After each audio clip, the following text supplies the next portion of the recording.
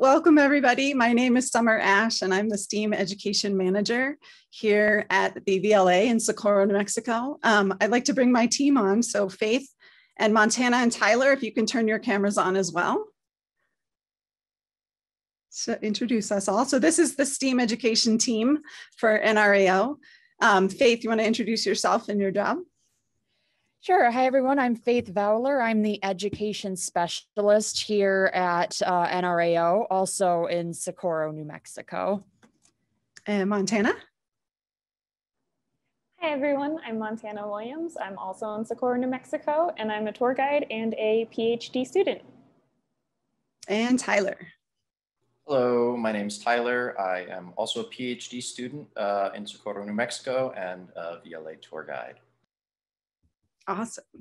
So I'm going to hand it off to my colleague Faith right now to get the tour started. And I will join back in when we get to introduce a lot of our guest, exciting guest speakers today from uh, the Central Development Laboratory. So take it away, Faith, and we'll. Thanks, Summer. All right. So, hello, everyone, and thank you so much for coming to our tour today. We also just want to give you a heads up that the internet in New Mexico here is not always the best. So, please bear with us if we have any technical difficulties. So just some quick housekeeping to start off here. If you have questions for us, please use the Zoom Q&A feature, which you can find right down here on your screens. And so we're going to have a dedicated uh, time for to answer your questions later on during the tour and um, some of them we might be answering right in the q&a feature so make sure to check back and look at that again to see if your question's been answered. And then others will be answering out loud. And you can use the chat feature to talk to your fellow attendees. Uh, we will be putting occasional information in the chat for you as well and uh, if we're if there's any technical difficulties that you want to let us know about again you can use the chat feature. And uh, please make sure that your chats are set to talk to all panelists and attendees. And all of the website links that we put in the chat during the tour we're also going to send a follow-up email after the tour and that'll have all those links as well. So if you don't get the chance to click on them or see them uh, during the tour don't worry you will still get them and uh, we try to answer as many questions as we can, but we don't always have time for all of them. And so, if we're not able to answer your question, then uh, during the tour, you can also go to our website and use our Ask an Astronomer feature. You can search the archives to see if your question has already been asked. And then, uh, if it hasn't, you can submit your own. And usually, the answers there are submitted are posted online within a few days. And we're also going to have uh, four different guest speakers who uh, will tell you about the work that they do at uh, CDL uh, during this tour. So we have we'll have Matt Morgan, who's a scientist and research engineer, Denisse Almeida, a mechanical engineer, Jennifer Jackson, a technical specialist, and Bert Hawkins, who's the assistant director. So, uh, before we get into CDL itself, just to give you a bit of background about who we are, the National Radio Astronomy Observatory. So, we were founded in the 50s with the goal of designing and building and operating and maintaining state of the art uh, radio telescopes to study the radio light that comes to us from space. And uh, we have three major radio observatories that we're responsible for. There's the Very Large Array, or VLA, here in, uh, in the United States in New Mexico. We have the Very Long Baseline Array, or VLBA, which is uh, across North America. And we have the Atacama Large Millimeter Submillimeter Array, or ALMA, which is down in Chile in South America. And NRAO is funded by the National Science Foundation. So, since we are government funded, that means a small portion of your tax money does go towards paying for the work that we do. So, that's why we think it's very important to be able to share our work with you and have these kinds of events. So, the Central Development Laboratory is located in Charlottesville, Virginia, which is also where our um, the headquarters of NRAO are, and it's on the campus of the University of Virginia. And there, and as you can see in this top picture here, it's in a very lovely building called the NRAO Technology Center or NTC. And uh, you might have seen photos of our radio telescopes and pictures, scientific images that we've made with them. And there's a lot of technology and expertise that we need to bridge the gap between the data that those telescopes get and the pictures. And so that is uh, where CDL's work is really important and they work with astronomers and engineers to address uh, needs of the telescopes and our technology as they arise. And so the, uh, as you can see, the mission of, um, of CDL is to support the evolution of our NRAO's existing facilities and um, as well as the expertise to build uh, the next generation of radio uh, telescopes and instruments and so we have multiple they have multiple patents and this it played a very large role critical contributions to um, ALMA and the Event Horizon telescope, which was made up of multiple different uh, observatories and institutions around the world. And so CDL makes sure that our telescopes are always evolving and improving. So now um, I'm going to stop sharing my screen and Summer's going to just share a brief video with you that provides a more good introduction to CDL.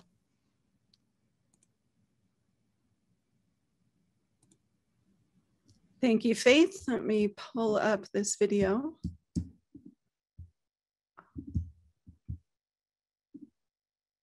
Okay, this is a bit of a, a teaser trailer for what goes on at CDL. CDL really is what makes the magic happen.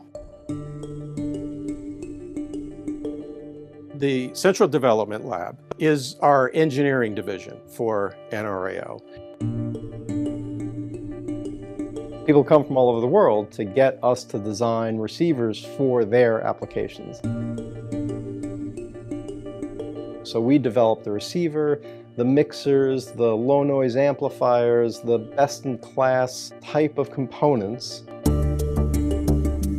Those engineers that are developing those technologies work closely with our scientists in order to find, tune the technologies that they develop to solve science problems Without the sensitive receivers and the instrumentation that they have invented here, we wouldn't be able to untangle all of those great messages that are in the radio waves. So the dish just catches it and brings it to a focus, and then it comes down into the guts of the telescope, which all happens here at CDL. The Central Development Lab at NRAO is excellent for radio astronomy instrumentation as it combines all of the different disciplines in one house and you're right next to all of the astronomers.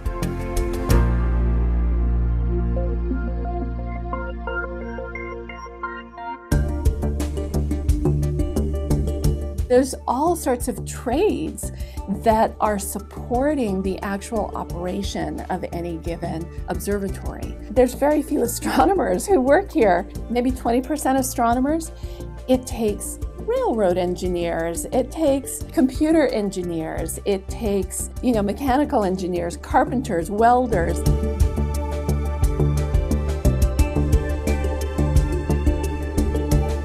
We are revealing mysteries of the universe. We're understanding our place in the universe better.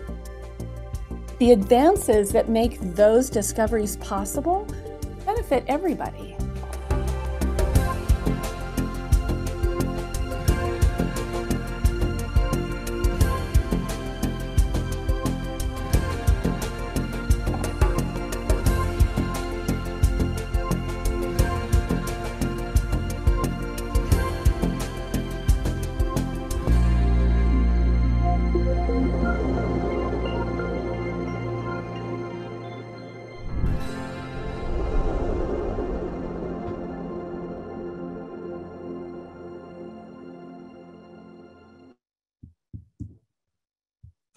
Okay, hope you enjoyed that. Um, there were a couple cameos in there of our upcoming guest speakers.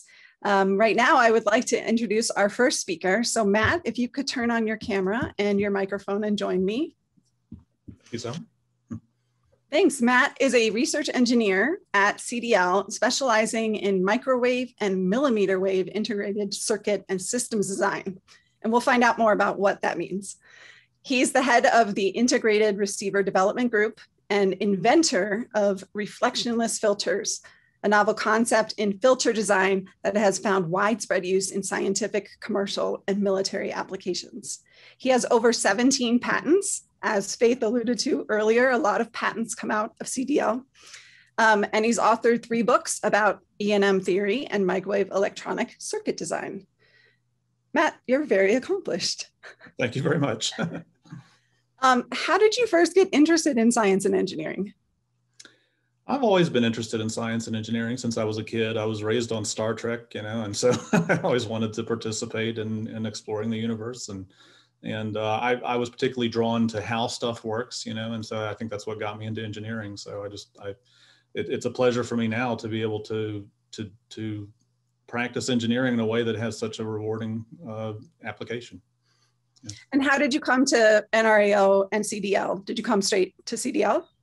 Um, I actually, I, I, did out of graduate school. Uh, there's a sort of an interesting story there I've told before. Um, I was studying electrical engineering in college and uh, was particularly interested in microwave and millimeter wave electronics, which is the kind of technology you use for wireless networks and cellular cell phone handsets and that kind of thing. And that that's kind of what I thought I would do uh, professionally. But when I was applying for graduate school, uh, this was in uh, the summer of around 1997, I think it was, uh, when when the Hale Bopp comet was coming through, and I got fascinated by that. I got uh, some of the magazines, and I started working. Uh, well, I started as a hobby doing some astrophotography in my backyard. I got a cheap telescope with a little DC motor and a cheap camera that I could use to track and take some pictures. I, I still have the photos in my closet where nobody can see them because they're not very good, but nonetheless, it was an interesting hobby for me. And uh, then I was applying for grad school uh, year or two later, and I had to write essays about what I did. And I, I ended up writing about that as a hobby. I didn't actually think it would have anything to do with my career, but I thought it would make me seem well-rounded. So I, I wrote about astrophotography, but it actually kind of became the linkage but, uh, uh, between electrical engineering and astronomy, which were sort of my dual interests. And that was noticed by um, Sandy Weinreb, who was working at the Jet Propulsion Lab in California at the time, and he was uh, reviewing applications for grad school at Caltech. He ultimately ended up being my advisor there, and really, he's the one who who pulled me into radio astronomy uh, as a career. Uh, so I, I, sort of jokingly tell people, uh, tongue in cheek, that I don't believe in astrology, but the passage of a comet really did have a big impact on the direction of my life. I love it. Yeah. So um, as we sort of phrase CDL is what makes the magic happen. And in that video, there was a lot of mentioning of the guts of the telescope. So I was wondering if you could elaborate on what that actually means, because when we normally give our VLA tours, we talk about the dish and we talk about the receivers um, and detectors, but we don't really go much farther than that. So what are the guts? What are the rest of the, is, what else is the rest of the inside of the telescope doing? Sure. Well, it varies a bit depending on the actual telescope, what its frequency range is, and what its you know its target science application are. But a typical system will go something like this. Obviously, the the part that everybody sees, the the big uh, parabolic dish, and that's really just a collector because collecting area is one of the first things uh, that we we need in order to to receive the most uh, the weakest signals from the farthest reaches of the universe.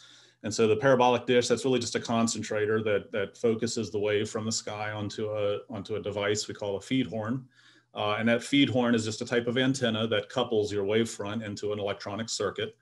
Um, from there, we have what's called an orthomode transducer, which is a device that separates polarizations. So people who have polarized sunglasses, for example, would know that light is polarized in different ways. We separate uh, the two polarizations from the sky onto separate channels to be processed independently as separate signals. Then typically we'll have a cryogenic amplifier to uh, amplify the signal to make it stronger because again, the signals we're looking for are very weak and we wanna make sure we amplify and increase its amplitude, that's what an amplifier does. as quickly as possible before we pass it into any other electronic uh, components that might add noise to it. So usually the feed, the ortho mode transducer and the amplifier will be cryogenically cooled to, to reduce their noise contribution to the minimum amount possible. From there, we go into our room temperature analog electronics, uh, where we'll have more amplification typically. We'll have some uh, gain adjustment because we're looking at cold sky, we're looking at a strong source, we might even be looking at the sun, and so our power level will change. Um, then we'll usually have a mixer uh, to down convert uh, the signal from usually from a higher frequency down to a lower frequency where it can be digitized more effectively. Um, we'll have filters at various places throughout the signal path to select a certain frequency band that we want to look at at a particular time. And then eventually we'll get to an analog to digital converter or digitizer, which changes our signal into bits. And then we'll have a laser transmitter to send those bits out over an optical fiber to a back-end uh, signal processing facility where we have essentially a supercomputer to collect data from all the various telescopes and combine them to form images. So that's sort of front to back what we do. And the cryogenics that you mentioned, you also alluded to needing to remove or keep extra noise from coming into the signal. But in this case, noise is not what people often think about as sound noise. What kind of noise are you talking about, and how is the cryogenics helping? Sure. We're, we're, what we're really talking about is random electronic interference. So, um, if you've ever, if, you, if anybody remembers the old analog television sets, if you you get the white snow on the screen, or if you tune to a station in your car, where there's no there's no radio station, you'll hear the the static. That's what we call electronic noise. And what it is, if you think about a, a radio telescope, what it's doing, it's detecting an electromagnetic wave, which is light, which is really just forces acting on charges like electrons in our in our system. So so we're we're looking for those electrons to jostle slightly because of the passage of an electronic wave. But the thing is, those electrons are already jostling a lot because of thermal excitation, because they're, they're just buzzing around at random. And that's what causes that static that you'd hear on your radio or the snow on your television screen. So to, to, to make the most sensitive system possible, we want to slow those, those charges down to make them as still as they possibly can before we try to detect the wave so we can see the smallest amount of movement. So that's so how, how cold are we talking? So it depends on the receiver. Um, for most of our receivers uh, in, in sort of the microwave or millimeter wave range, which is, which is sort of hundreds of megahertz to a few gigahertz to a few hundred gigahertz, uh, or well, to about 100 gigahertz. Uh, we'll usually use a cryogenic amplifier cooled to about 20 Kelvin, which is about 200 minus 270 degrees uh, Celsius. Yeah. Um, for uh, higher frequencies than 100 gigahertz, we'll use a superconducting mixer technology, and they have to be cooled to about 4 Kelvin. Uh, so we'll have another refrigeration stage after that. And we're doing some new uh, interesting research now on some new uh, devices called a traveling wave kinetic inductance parametric amplifier uh, that has to be cooled to 10 or 12 millikelvin in order to work. And so we get to very cold temperatures. Wow. That's Kelvin. Uh, so zero Kelvin would what would call absolute zero, right. uh, two, minus 293 Celsius. Right. Um, your four Kelvin remark made me recall that I think our news group did a feature on CDL because the four degree Kelvin chamber or the cryogenics, wherever you're running that, is technically the coldest place in Virginia. Yeah, it probably is. and probably much of the surrounding area, but Except definitely. we're running our 10 millikelvin doer, in which case that becomes the coldest place. Yeah. which maybe we didn't know about at the time that that was coming online. Yeah. Um, is there such a thing as like a typical day at work for you? Or what kind of things do you find yourself getting into on a day-to-day basis? Um, well, I wear a lot of hats actually. I work on many different projects. So I have, uh, I'm, I work sometimes in support for existing telescopes like out in New Mexico or in Green Bank. Um, most of the time I'm working on development of new electronics uh, for, for new telescope systems, either for a dedicated telescope, like we have the next generation very large array, which I think you've done some tours uh, for that as well. Correct, just last month. Yeah, so I'm involved in developing the electronics plan for that. And so unfortunately that involves a lot of documentation and meetings, but sometimes I actually get to sit down and do, and do hardware design, which is more fun for me. Um, and then I always have on sort of uh, on the side some just forward thinking research projects that I'm doing to think about, well, here's a problem, you know, we typically build receivers this way. How could we do them better? And I, and I like to try and keep, keep some creative ideas in progress at all times. So. Great. Mm-hmm. So I'm going to thank you for your brief time right now, Matt, but we'll bring you back for the Q&A at the end. Um, and I would like to bring on our next guest, um, Denisse. Can you turn your camera on and join us? Join Hello. me. Hi, how are you? Good. How are you guys doing? Doing good. Um, so Denisse, Denisse, let me introduce her for a second. Um, Denisse is a mechanical engineer who's passionate about astronomy and anything having to do with space. Right there with you. and she enjoys working at NRAO's CDL because she can use her mechanical engineering background while working in the astronomy field. And it also allows her to do hands-on work. And so I think Denisse, you actually have some slides that you'd like to share that really illustrate a lot of that hands-on work that you get to do. I do, because I'd actually like to show it, because I think what we work on is some pretty cool stuff. If I can figure out my screens here, give me just a second.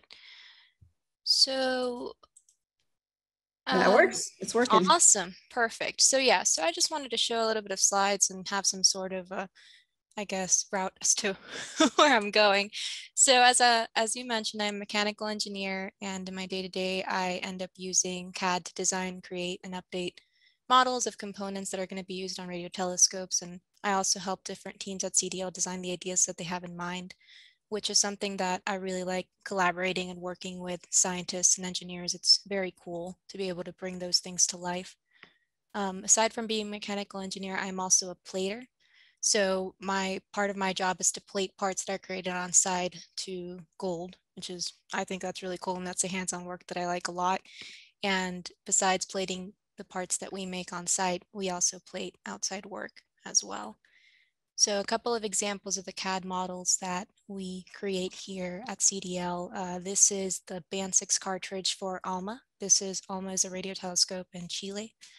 And the Band 6 cartridge um, is basically a receiver and, and ALMA has, it captures signals from 10 different frequencies, uh, frequency bands, sorry. And this is just one of those cartridges from the 10 and as you can see this cartridge cartridge is very complex has a lot of parts and uh, the funny thing is that I started here a year ago when um, when we were technically in working from home because you know COVID and the whole situation so in my mind coming here I had a bigger concept of, of these things and I thought this cartridge was something big. And when I saw it in person, it's something so small and incredibly complex and detailed. with so many parts. Um, and that's most of the stuff we do here. It's very tiny things and it's I very was- cool. I was just going to ask you what sort of scale is this cartridge on? Not very good at depicting scales. Oh, that's okay. Do but I'll just do probably like about that that tall. It's not very big. It's heavy. With your bottom hand. There. Yeah. Okay. So It's- maybe two feet. Yeah. It's not it's not very big but it is dense but it is very Right. cool when you see all these parts in person um, and then another part that i'd like to illustrate that we're very known for are the low noise amplifiers something that cdl is known for pretty much around the world um, as you can tell on the bottom slide we do i mean these parts are, are minuscule they're tiny but they are so complex and filled with so many features. And um, it's just basically an example of the part and the drawing um, and then moving on, and I just want to talk about our machine shop and how we have an on-site machine shop that creates a bunch of parts and components that we we send basically to all these radio telescopes and the precision in this machine shop is so high it's it's basically so uh, it's the tolerances that I have here on the slides but since you know it's not very easy to have this as a concept in your mind well the average human hair has a thickness of 80 microns. This machine shop can go down to five microns and that is it's pretty cool. And um, matt earlier was talking about an omt an orthomode transducer and that is here on the side and i took a picture of it next to a little uh, paper clip so you can see just how tiny that part is and the complex little features that it has inside Mhm. but um, no, and then the other part of my job is doing plating. So we have a plating and chemistry lab, and uh, we do gold plating. Here on the left, we have the some K connector adapters, which if you don't mind, I'll go back. You see, it all it all kind of relates to each other, which is cool. We have the K connector adapters, which go on the low, no, low noise amplifiers, and those there are plated. On the left, you see it in gold. On the right, it's brass, and with brass, it's kind of hard to tell when it turns into gold but it's more apparent with the parts on the right, which were actually outside parts. Um, but it's really cool because even as I'm working on this on site, you can, I just dip it and it turns into gold and it's like magic right before your eyes. It's really cool. I think it's cool. Can you um, talk about why gold or why these particular metals? Yeah, so the reason that we do gold is because gold provides a corrosion resistant layer on these parts, and it also provides good thermal conductivity um, for both heat dissipation and cooling and cryogenic applications.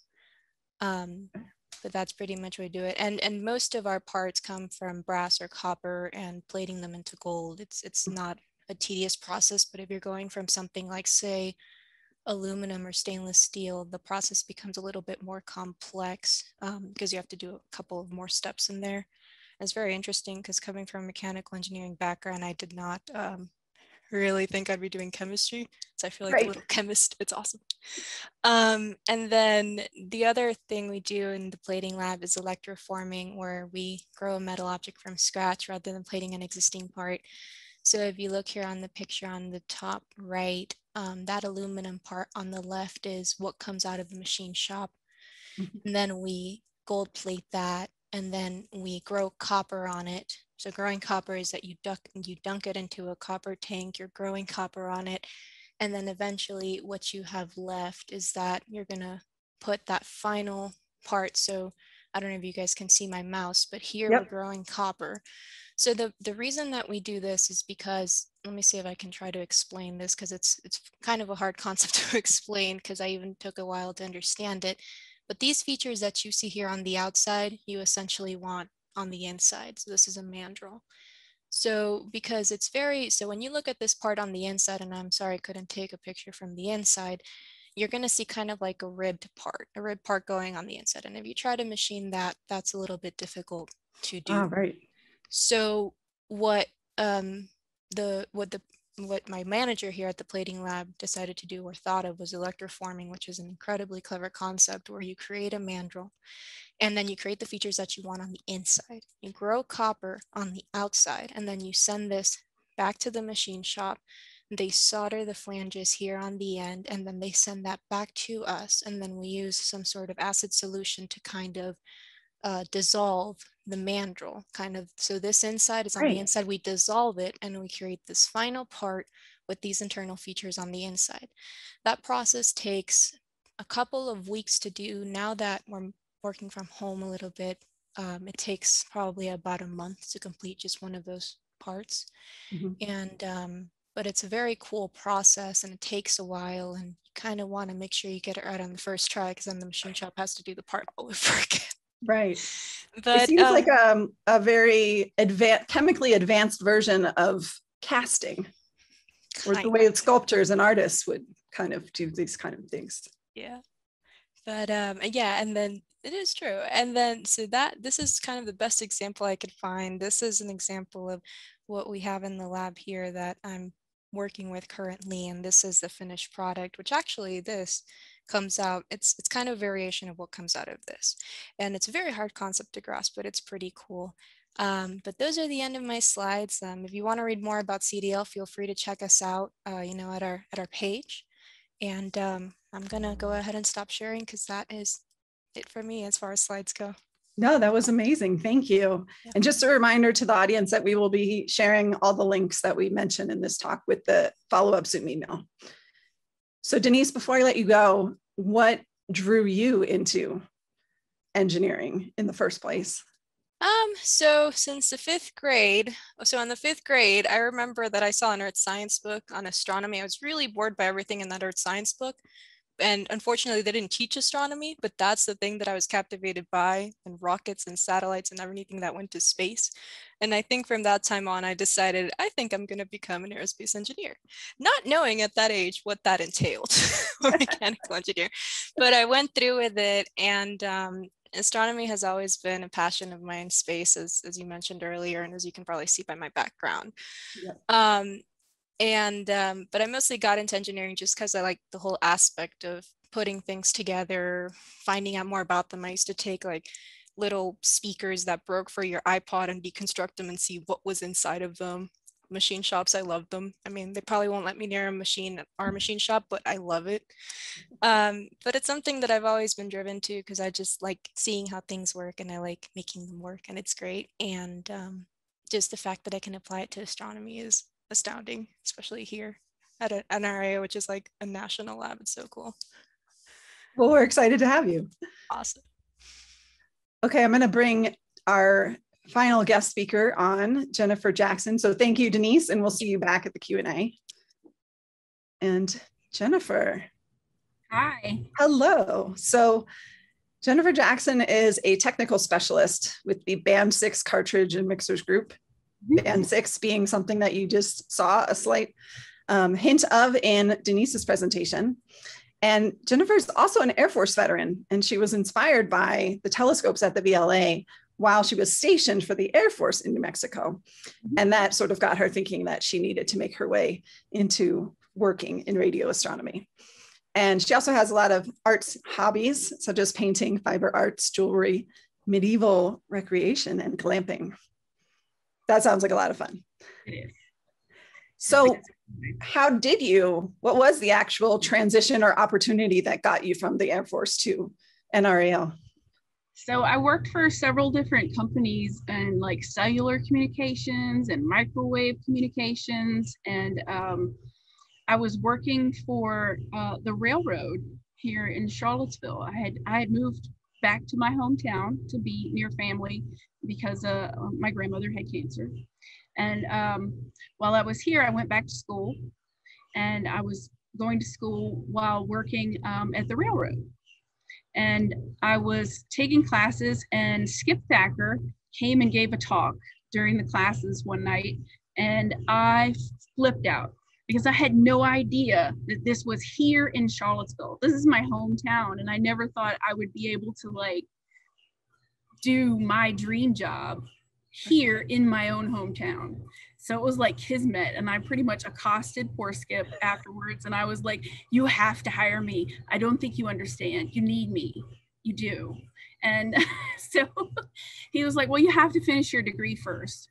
So I did. I was like super determined then um, to, to just knock it out as soon as I could. And I did. And so I pretty much just started throwing my resume at the NRAO and Skip came to talk again and I was like no you're you have to hire me. You, you know I, I need to work there. And um, thankfully the position came open and I applied for it and and then I worked for Skip for the first few years before he uh, retired. But it's it's great. It's it's what I've always wanted to do. What is a, a typical day for you at um, I spend most of my day in the room that you see behind me. Um, this is a band six receiver test set and uh, the receivers that Denisse showed. Um, it's my job to put those together, to test them, and to uh, repair them when they come back if there's something wrong with them. Uh, for instance, just uh, yesterday, I replaced an OMT the orthomode transducer we were just talking about. Um, it's a very uh, involved process. Uh, just for the top section of that cartridge, there's 72 tiny, tiny, tiny screws. Ooh. And there are wires that are not much bigger than my hair. So yeah, it's a lot. It's very complicated. But um, I swear I never thought I would be able to do something this cool, but here I am, and I'm so excited every day. But I spend my day in the lab running tests, and there's another test set that you can't see in the picture. And um, if you hear any chirping right now, that's the uh, cryo in that test set uh, running right now to test mixers because mixers are a part that go inside the cartridge um, that mix frequencies to, to bring them down to a level that we can mix with the incoming signals from space. Um, and the band six receivers are all on ALMA, correct? They are. And what's really cool about band six, and I didn't really realize this, I, I spent 14 years in a different department. Um, I built the warm cartridge assemblies, which are the timing kind of source, the heart, uh, heartbeat of every band, every frequency band that we have. Mhm. And um, so then I came across the street here, and um, it turns out that band six is the band used for all the black hole science. So um, it's pretty exciting. All these things that come out every day from band six, and it's like, I want to say it's band six, and I helped. You can say that. Well, yeah, it is. It's so great every day. Every day there's something else that they've come up with. They've found using the ALMA Band 6. It's so great. Um, do you can you explain a bit more of what band six means? So here at the VLA, we talk about having receivers in S band and X band and P band. Um, and those are different frequency or wavelength ranges to capture the light. So what is band six capturing? Band 6 is, uh, believe, 220 to 275 gigahertz. Oh, so for reference, the VLA is one to 50 gigahertz. So this is much, much, much smaller, more energetic light when we're talking about radio and microwave Yep, signals. we have um, we have cartridges in different bands that go even up to like 800 gigahertz.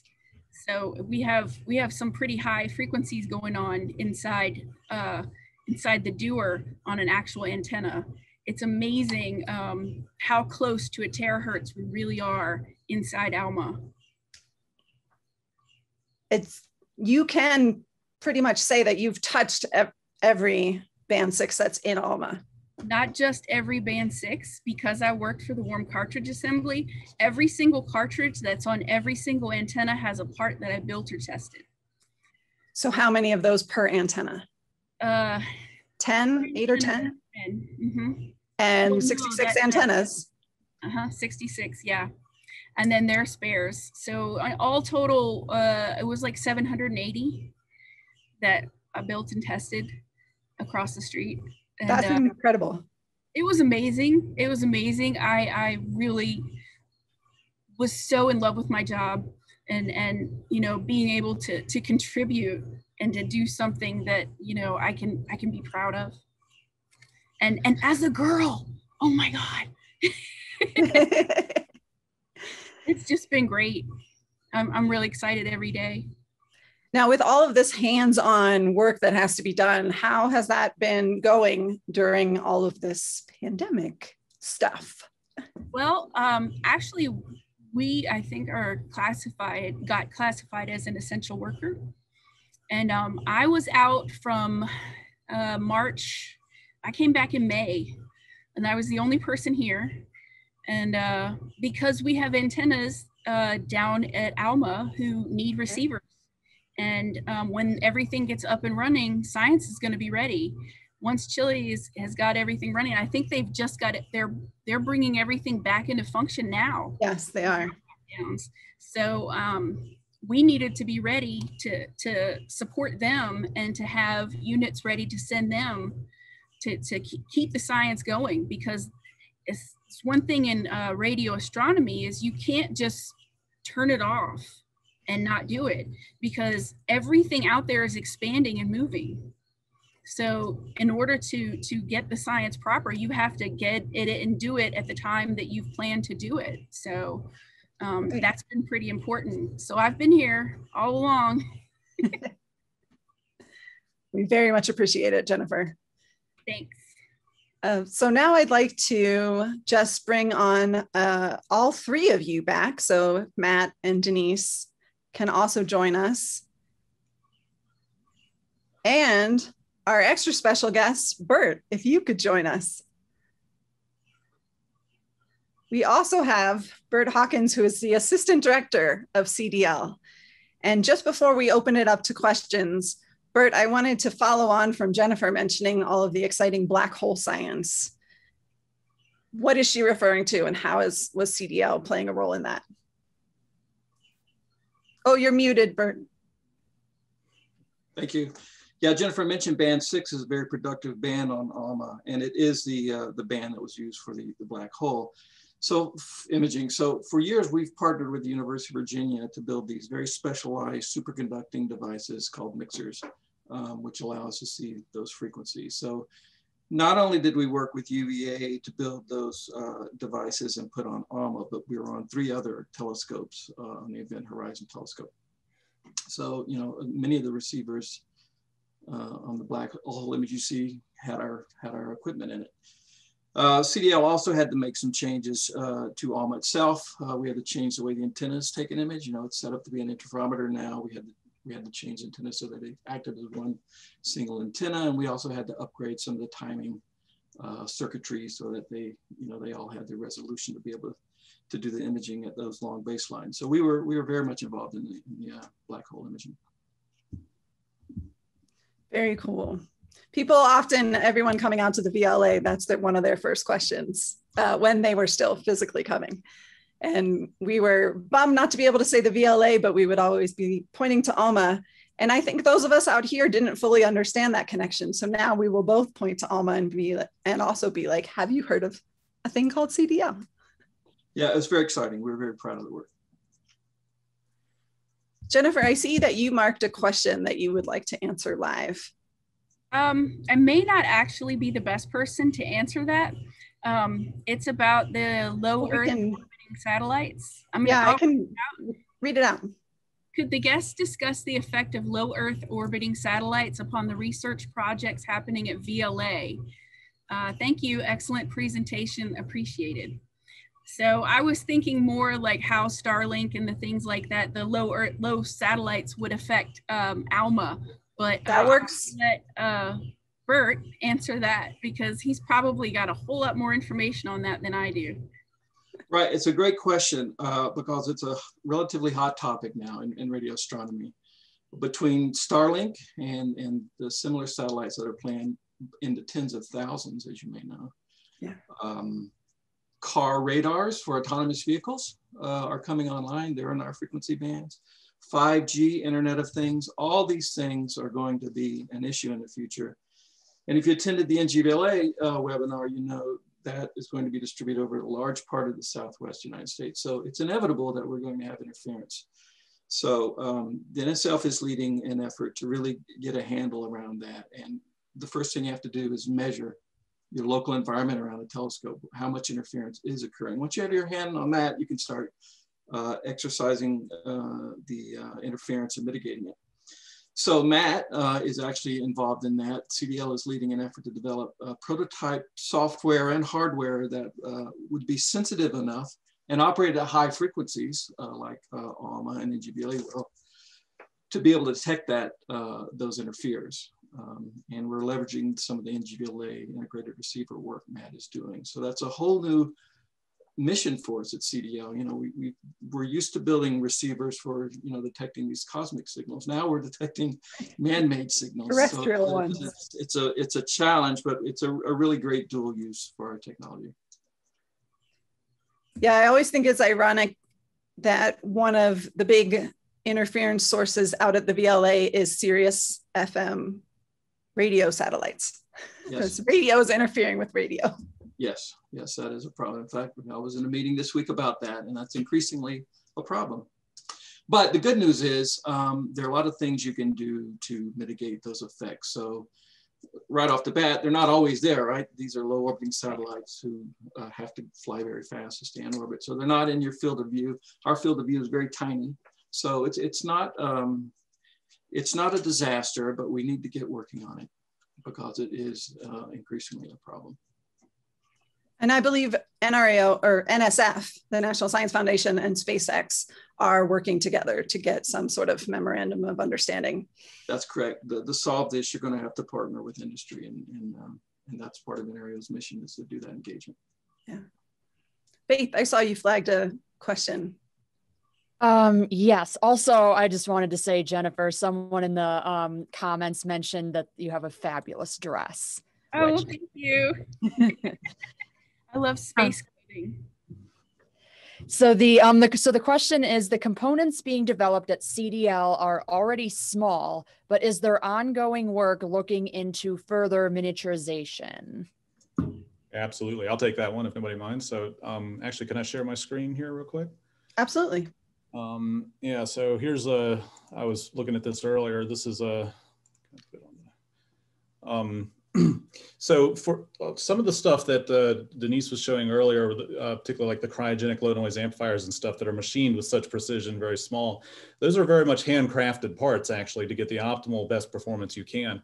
But a lot of our electronics, you can you can accept a little bit of uh, you know uh, doesn't have to be not every part has to be an art project.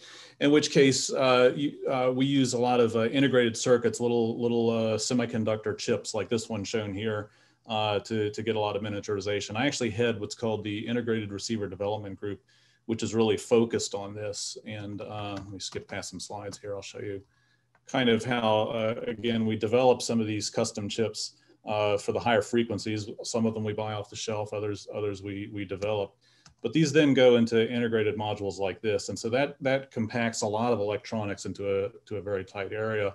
And there's a lot of active research going on, particularly in the integrated receiver development group, uh, to to learn how to integrate these devices without getting any without giving up anything in terms of the sensitivity and the stability and the ultimate performance that we need for radio astronomy. We have to be very careful about it, right? Because because we have sort of high standards of performance, and we have to make sure that we don't get, give up anything.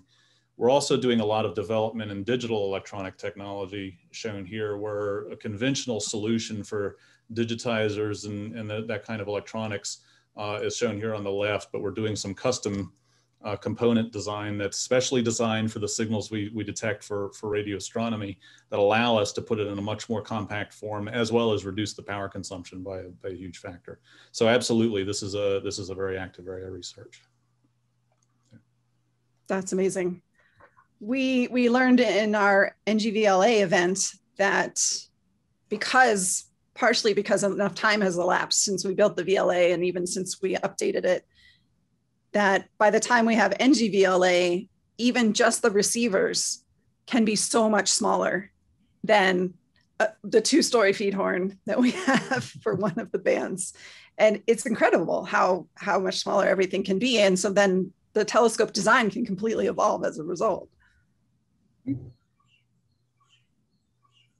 Um, there is a question that's actually asking about BYU's low, no, low noise array. Does anyone know about that? I haven't heard of that. Just thought I would try you.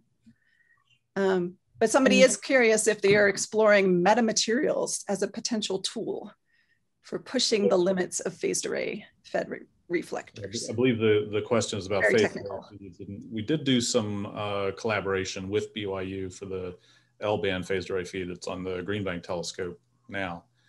Oh. Um, and yes, uh, we have talked, I'm reading the question now, sorry, while I'm talking, but yeah, okay. coupling is one of those issues. So it's it's a question of the noise. Again, we, we talked earlier about electronic noise and how this sort of masks the signal we're trying to, to detect.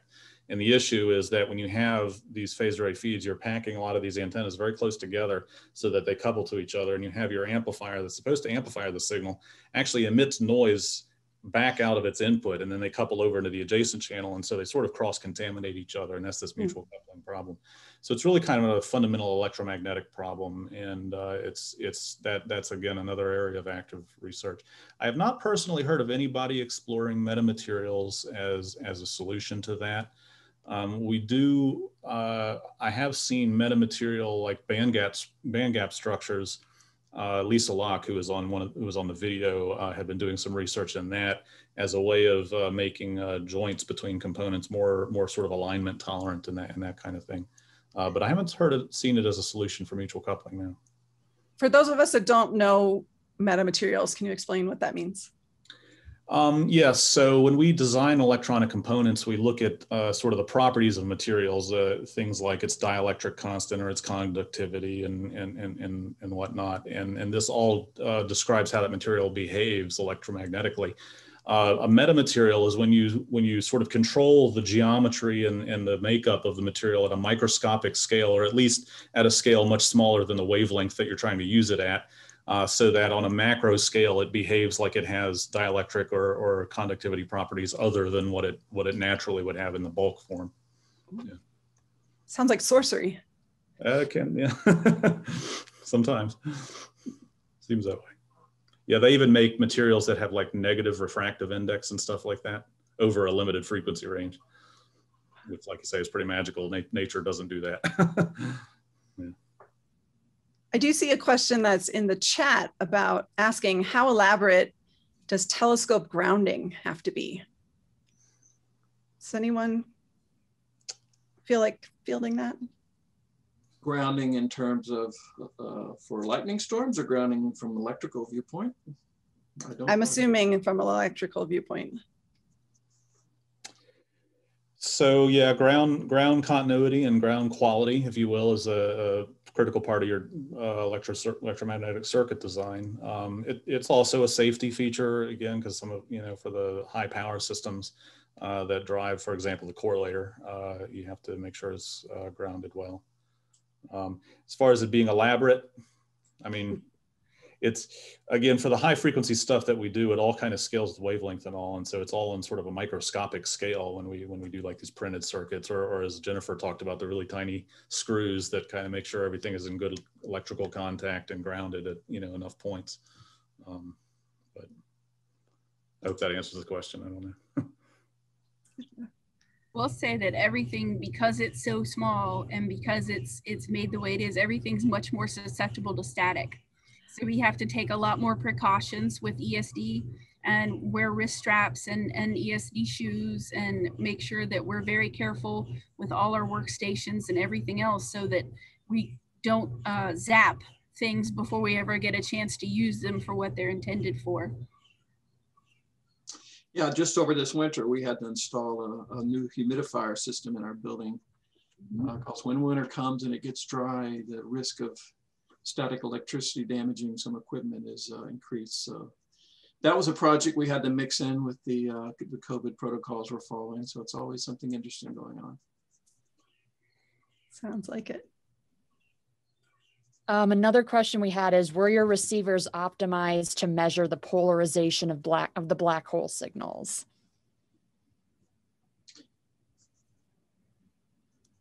Yes, so so the band six, uh, as mentioned for the OMTs, does do polarization separation. Matt, you may be able to elaborate on that. Sorry, yeah, I was I was trying I was responding to another question. so, um, yes, indeed, the uh, uh, the band six cartridges that were used um, do uh, incorporate a very precise uh, orthomode transducer. I think Denisse showed a picture of one actually uh, in her slides. Um, and uh, this, this was used to detect the polarization. In fact, they recently published an update to that image, I believe, that showed uh, the polarization signature of the material around the black hole. That's yeah. what I was going to ask. I believe that that's that picture showed had the polarization data in it. I guess it took a little more processing. Right. Yeah. Yeah. It's an integral part of my testing. Also, uh, we test for polarization accuracy and to make sure that there is is very clear separation between them. Jennifer, you mentioned uh, the grounding and those other precautions, but do you have to work in a clean room? It's not a clean room, but it is a it is a closed HVAC area.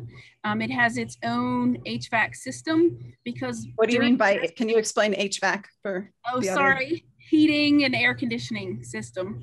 Um, because when during testing, um, it has to uh, maintain one degree, it can't change more than one degree over an hour in order for the testing to be accurate because that's up in up when it's installed on an antenna uh, the temperature does not change because of the um, the environmental uh, heating HVAC on the back yeah. of the antenna that that does not uh, fluctuate. It's a set temperature and it stays at that temperature with that wind speed, uh, that fans blowing in there and everything. So it has to uh, mimic exactly in the lab what it does out in the field.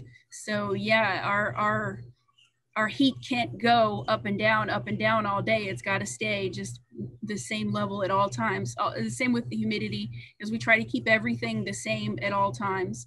So uh, my stuff's in a chamber, and so it has. Uh, you can't really see it there, but it, it looks like a huge meat locker. You know, another thing about those chambers that might be worth mentioning is that they're also they also have their own dedicated 50 hertz mainline power supply, I believe uh, as opposed to 60 hertz, which is what we use everywhere else in the lab. And the reason for that is it's, again, intended for use in Chile. And there was some concern that the efficiency of the cryogenic systems wouldn't be the same running on a 50 hertz power line. Um, another question we have is, could you talk about some of the other work uh, for others that you've been involved in? You mentioned the WMAP mission. Are there others? Uh, there are others, and that's uh, some work we're very proud of. So um, other observatories often come to us to leverage our expertise. Um, I think Denisse mentioned, you know, we have a world famous low noise amplifier team. We've, uh, we've produced some of the best low noise amplifiers in radio astronomy uh, for many a year. So, you know, we, we, have done work for um, the, uh, our Japanese uh, and East Asian counterparts on ALMA for low noise amplifiers. We also recently com completed, uh, Jennifer was mentioned, she used to work on the warm cartridge part of, uh, of the ALMA. We, we recently did a very large project for a sister organization for that as well.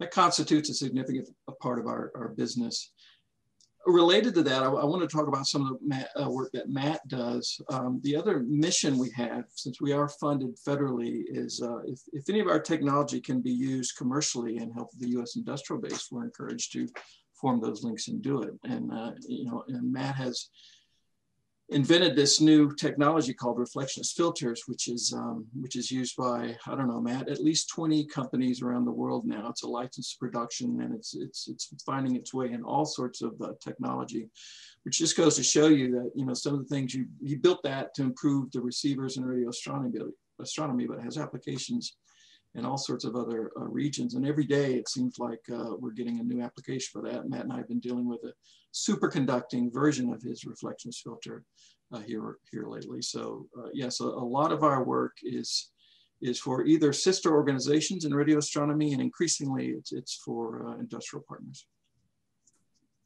to pick up that thread because it also talks about uh, one of the other questions somebody asked. So yeah, the, the reflectionless filters, that's been a very exciting thing for me to work on. It's kind of an interesting side side task that I have these days, working with our commercial partner on that. I think it actually has hundreds of, uh, of companies now, um, but uh, that was an interesting thing. To, uh, so uh, somebody asked about some of the patents. Of the 17 patents I currently hold, that's probably accounts for maybe a dozen of them because we we developed it and then we improved upon it and we came up with new ideas and we improved upon it more. Um, but that was an interesting technology. It had to do with the fact that a filter is a as an electronic component um, selects certain frequencies that you're going to pass and rejects others. And conventional filters do that uh, by reflecting unwanted signals back out of their inputs, which causes interactions with adjacent components in your system and, and, and degrades the performance of your system in technical ways that I probably don't have time to go into. But we developed a kind of uh, filter that absorbs unwanted signals rather than reflecting it in a very efficient way. And this is, uh, lot, this is finding a lot of interesting use in academia. Some of the other things that we've patented have had to do with uh, digital data transmission, uh, also the orthomode transducers. That's an active area of research that we've done some things in as well, and also broadband uh, feed horns or antennas. Uh, in radio astronomy, we're often, you know, the astronomers want every frequency they can get from DC to daylight, right? And so we're trying to make our broad, our systems as broadband as possible. And so we've done some work on ultra wideband uh, feed horns as well. So. So we've just hit the hour mark, but I know I feel like everyone's having fun. And so I would like to maybe have one more question. Faith, if you see a good one. Um, sure. Could you please talk about some of the new receiver technologies and new receiver bands? Are you working in multi-pixel receivers and terahertz receivers? So yeah, kind of a long question, but basically just asking about some uh, new stuff related to re the receivers and the bands. I'll let Matt talk about uh, his integrated receiver, but first, just uh, it was mentioned earlier. One of the things we do is look into new technologies, and someone mentioned the traveling wave kinetic inductance pair amplifiers, which is not only a mouthful but a promising uh, technology. Um, yeah, and it, so that's a new, another superconducting technology which has the potential to even drive the noise lower on, on some of our ALMA receivers um, because we're always bumping against theoretical limits and we, we want to push past those. So that, that's a very early research project um, and it does operate at just a few millikelvin above zero. We need to get it to work up to 5K where ALMA does. Um, but that has the potential uh, to be a new detector and a new amplifier and improved performance on, uh, on the ALMA uh, receivers we built. And that's a good example of the, of the longer term, you know, more researchy type work we did. Matt uh, has conceptualized an entire new way to do receivers uh, that he's going to use on NGVLA he can talk about. Yeah, so again, that, that's really focused. Uh, the question talked about multi-pixel receivers, and that's one of the big things that we're trying to do with that. If if you kind of look historically at, at our at our receiver electronics, they kind of look like hot water heaters with huge you know huge bundles of components all, all, all plumbed together. And we're trying to get things more sort of semiconductor die and, and integrated. And the idea is that then you know it's something you can hold in the palm of your hand instead of the two foot high cartridge or even something bigger than that. And so uh, you can pack arrays of them into the focal plane of your telescope and have multiple beams on the sky simultaneously. In terms of uh, bands, um, we fairly routinely cover anything from, you know, tens to hundreds of megahertz to, uh, to almost a terahertz uh, with various telescopes and various sites. Uh, we have looked at some uh, exotic new superconductor uh, stack up material stack ups for doing things at one, I think at 1.2 terahertz was talked about uh, at one point. Uh, you don't go much lower than 30 megahertz or so because of uh, the ionosphere is starting to cut off there, and pretty much all of our all of our telescopes. Our main mission is ground-based telescopes, though we do partner with NASA sometimes for spacecraft and, and high altitude balloons and things like that, where you can do lower frequencies, and the ionosphere is not going to cut you off. Uh, so really between between that range and, and like I say up to a terahertz is sort of uh, there's really no missing bands other than other than where the atmosphere is just so opaque that that's not worth trying to observe from the ground. Um, uh, and then there are uh, some work uh, we, we partner with groups looking at even higher frequency stuff, getting into the far infrared uh, type electronics. Yeah, let me follow up real quickly. Uh, we talk a lot about high frequencies. We have a team at CDL that specializes in low frequencies, you know, below 100 megahertz. And what they're looking for is very early signals of, uh, from the universe, the cosmic dawn, you know, when the stars first started to form. And you can imagine that's very difficult. That's you're way back in time, so those signals have been stretched, so it's very low frequency, and there's a lot of universe between us and, and those signals. So um, you know, that's a whole different level of radio frequency engineering. Um, and um, uh, they're extremely talented and they are working uh, with NASA um, on some um, spaceborne um, solution to that problem, perhaps a lander on the moon or perhaps a small sat orbiting the moon. Um, so we really do cover from very low frequencies to very high frequencies. Amazing. I would like to thank you all for joining us today and also give you an opportunity to just sort of say any final words you want to about either your job or CDL or. All right, I'll, I'll never let that opportunity go by. That's what so, I thought. Uh, we have an expanding mission at CDL. We talked about the spectrum uh, problem. We haven't even talked about all the exciting radar things that are going on in Aereo now. Um, and NGVLA is going to be a big project for us, and we're involved in up, upgrading ALMA now. ALMA is ready for ALMA 2030, the second generation of ALMA is coming. So at CDL, uh, we're expanding, and we're particularly interested in students coming to work with us, particularly co-ops and postdocs. Uh, so if you or someone you know is interested in that, uh, please get in touch with us. Visit our website. Uh, we're looking to expand both those programs, co-op students and uh, postdocs. We will at a four time have four co-ops uh, this summer. And we have one co-op now, we hope uh, one postdoc, and we hope to bring that up to four in the future too. So uh, we're an organization that's growing. And if you're interested, you've seen the magic now, uh, please uh, check out our website. Anyone else? Like to chime in if, if, if yeah, I could. Go for it. Um, I'd like to say that um, I've been here uh, about 15 and a half years now. And um, I absolutely love my job. And uh, imposter system, imposter syndrome is a real thing. And, you know, we all battle that at some point, um, but work hard and do the things you just, you can make it and you can do it and you can be anything you want to. Um, live in proof. But I also want to point out how amazing um, the NRAO is uh, in our commitment to diversity and inclusion and the programs that we have that we're working on here um, to stay um, to stay current with uh, DNI and to uh, move forward and progress and make real change. And I think that I'm I'm really impressed with how we're doing, and I think that um, it's a really great thing. Uh, I just wanted to say how proud I am uh, of the work that the NRAO is doing and committing to. And that's, you know, not a lot of places are committing to do the work, but we're really committed to do it. So I, I just wanted to shout out for that. Thank you, Jennifer. I second everything you just said, and I appreciate it for bringing it up. Okay, so I'm going to throw it back to Faith, who is just going to wrap it up, tell you about what's coming next. And we have a brief survey that she's going to mention that we would love it if you could fill out before you leave today. Thank, uh, thanks, Summer. All right, so um, so our next tour is going to be four weeks from today, so May 22nd, and again at uh, 1 p.m. Mountain Daylight Time. And so this is going to talk about the ins and outs of operating one of our radio telescopes, the Very Large Array here in New Mexico.